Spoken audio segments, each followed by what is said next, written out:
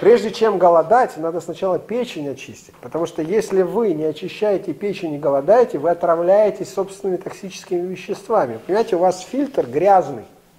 Он не работает. А когда вы голодаете, происходит суперинтенсивная очистка. И в кровь вбрасываются все токсические вещества в огромном количестве.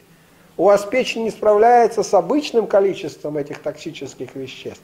А во время голодания в десятки раз увеличивается их количество. Да вы просто убьете себя. Я же рассказывал, на, надо чаще встречаться, просто на лекции мои ходить. Я уже во всем рассказывал что печень – это залог здоровья человека. Это фильтр, понимаете, фильтр.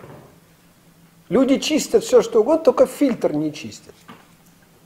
Представьте себе, что у вас в машине фильтр, вы купили ее, и у вас машина работает там сколько?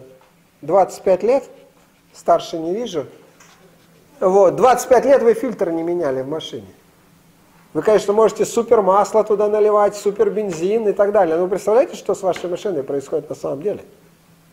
Она разваливаться начинает. Потому что фильтр больше не фильтрует ничего. Поэтому прежде чем голодать и заниматься подобными вещами, надо печень привести в порядок. Фильтр почистить. Поняли, что я говорю?